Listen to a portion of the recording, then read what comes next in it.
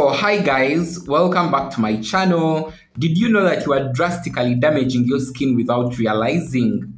In today's vlog, I'm going to be giving you seven different ways that you have been damaging your skin without knowing.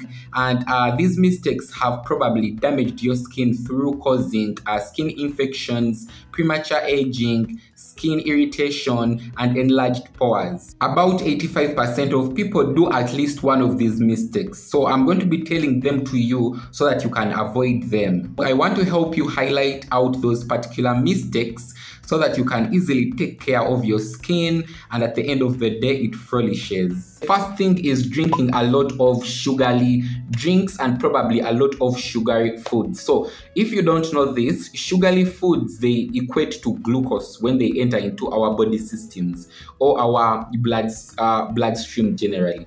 And what glucose is known of, it is to lead to inflammation. Remember that uh, the our facial skin also is partly made up of different cells that do require this glucose to survive, to make energy. So when there is a lot of different glucose within the circulation, and there is a lot of glucose that is supplied to those different, uh, you know, cells around the face, chances are very high that they might lead to breakout and chances are very high that inflammation might occur. The second thing is picking at your skin or literally busting pimples. As that habit, actually, I think that I've been with it for some good time, but no more because I have realized that whenever I do prick a particular, you know, pimple or whenever I do bust a particular pimple, it actually leaves me with scars. And those scars, when they are healing, probably most of the time they leave those pits within my skin. If you are very curious, you'll be able to see the recent one this one going on over here which i did bust or prick and it did leave me with this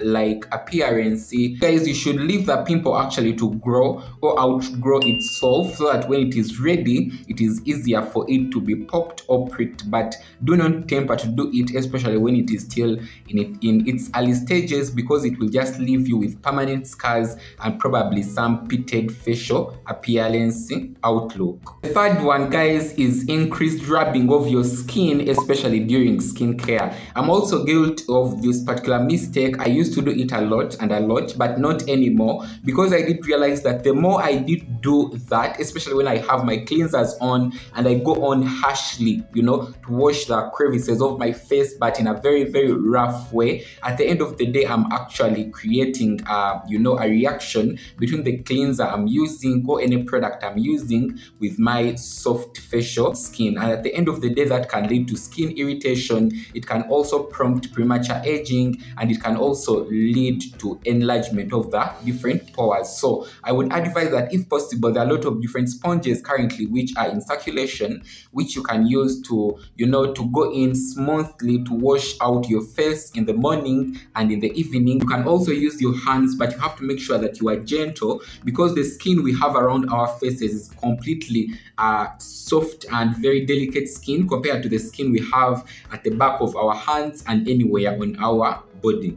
Not washing your beauty blenders and your makeup brushes guys this is also a very common mistake especially when it comes to uh, people who claim that they don't have time or people who are perpetual procrastinators. At the end of the day you are going to continue getting different breakouts after breakouts uh, without actually tracing the main cause of those particular breakouts. But the reason is if you have been using a particular brush or beauty blender for more than one week and it has not been washed chances are very high that there is a build up of bacteria on that particular uh, brush or beauty beauty blender. So when in the morning or evening, you go to wash your face very well. Then after that, you get a dirty beauty blender, put it on your skin. You are introducing germs and infections onto your skin, which can lead to skin irritation and skin infection. So make sure that at least you wash your brushes once in a week. That is how much I would recommend. And also you change occasionally your beauty blenders. Don't use one beauty blender for over six months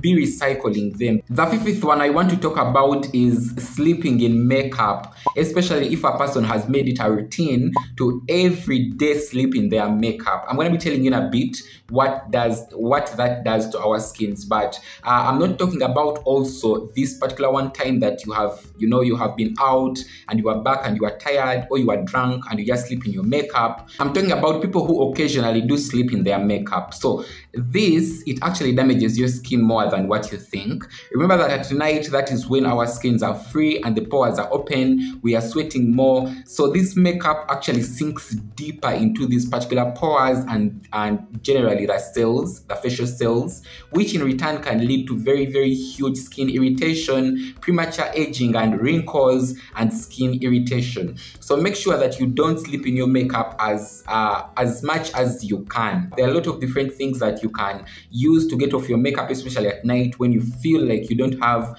the energy to go in to do the whole of your skincare routine.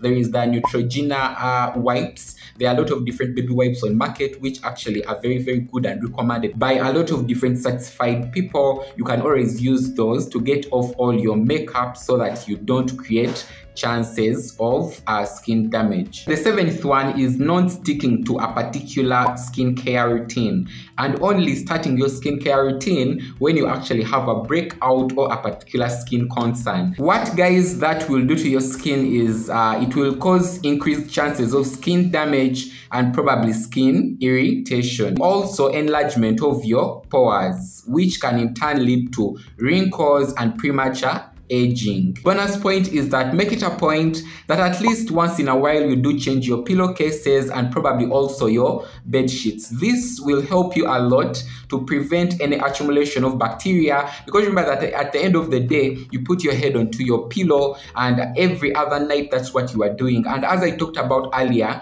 at night or when we are sleeping we probably produce a little bit much more sweat and literally accumulation of sweat it creates high chances or a good environment for growth of bacteria. So when you are sleeping onto the same pillow, same pillow, same pillow over time without having the pillowcase washed, even though you clean your face before you sleep, you are again introducing other infections as you sleep on that dirty pillow. The same thing applies to your bed sheets. Thank you very much guys for watching today's vlog. Let me know what you thought of it in the comment section below. In case you have any other information how we can literally promote our skincare routines and probably avoid different mistakes, let us know in the comment section below. And also if you know of any other mistake I've not talked about when it comes to skincare and skincare routines, also leave it in the comment section below. Uh, I wish you all the best. I just hope that you have learned or picked picked up one or two of the different mistakes and probably you align them into you know the best practices that you can probably do.